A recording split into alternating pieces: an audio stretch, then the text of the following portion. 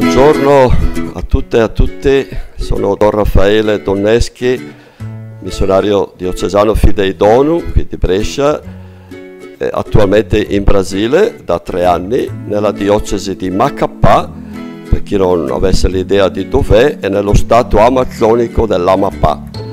Eh, siamo sul Rio delle Amazzoni, casa nostra è a 500 metri dal grande fiume e a un chilometro dall'equatore. Eh, vivo là da tre anni con eh, Monsignor Pier Giuseppe Conti, Don Pedro, ho vissuto, bresciano, mio compagno di scuola. Eh, sono attualmente parroco della parrocchia del centro, della cattedrale. E noi abbiamo su 500.000 abitanti, così è la città, 13 parrocchie. Fate un po' il conto nel tessuto urbano che si va sempre più espandendo verso nord. Allora qual è la necessità che Don Pedro e i sacerdoti locali stiamo vedendo? È di costituire una nuova parrocchia perché la zona nord, che la chiamiamo noi, è divisa da una eh, strada a quattro corsie barrata nel mezzo, per cui la gente che va a piedi non riesce a attraversarla se non con delle passerelle ogni tre chilometri. E allora l'idea sarebbe quella di costituire al di là delle due parrocchie che già ci sono sulla parte destra, per chi sale, per chi esce dalla città, due parrocchie sulla parte sinistra. Sono circa in tutto 60.000 abitanti.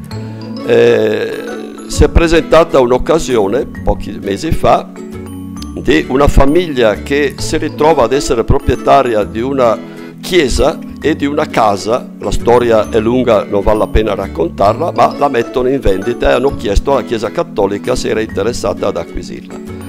È una chiesa dove ci stanno circa 300 persone, la casa è grande, potrebbe essere addirittura un piccolo seminario. E è in mezzo proprio a questi quattro quartieri sulla parte sinistra e abbiamo visto in questo un segno che dobbiamo muoverci Oltretutto da Bresciani eh, Don Pedro, il vescovo, dice perché non la intitoliamo al nostro illustre e santo concittadino Paolo VI. E qui è la proposta, la spesa per eh, la casa, la chiesa, e allora stiamo girando un po' per raccogliere un po' di fondi, la parrocchia, alcuni amici hanno già cominciato a contribuire e quindi siamo a chiedere ancora una volta eh, che eh, il Signore tocchi il cuore di tanti fratelli e sorelle, magari nel nome di Paolo VI, per poter realizzare questo sogno, visto che il Vescovo va in pensione tra tre anni, vorrebbe lasciare questo segno concreto anche del passaggio dei bresciani eh, in terra eh, Amac Pines. Grazie a tutti, arrivederci e pregherò e pregheremo per tutti voi benefattori. Visita il nostro sito cuoreamico.org o contattaci allo 030 37 57 396.